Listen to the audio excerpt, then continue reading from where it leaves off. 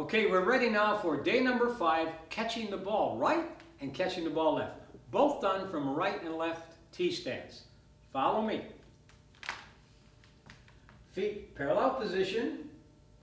We're going to turn to the right in a right T-stance, catching the ball over our right hip. Right hand should be shoulder high, left hand down by the right hip. Now pretend like you got an egg under the right armpit. If you squeeze too hard, guess what's going to happen? The egg's going to break.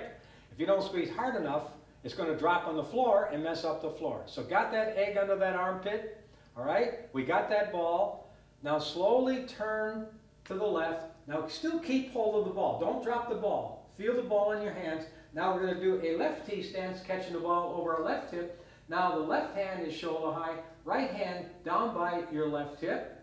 And now the egg is under the left armpit. And you want to squeeze that egg a little bit, not too hard. Now let's repeat that a couple times.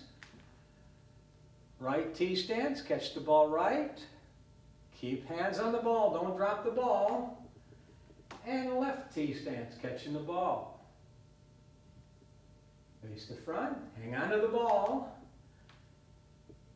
Catch the ball right. That completes that.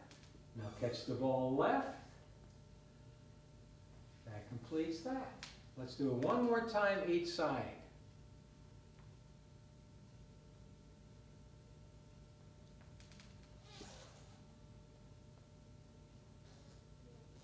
All right, there we have catching the ball right, catch the ball left. See how easy that is? But again, we're really producing a lot of internal feeling that you can't get through a bottle or through a pill.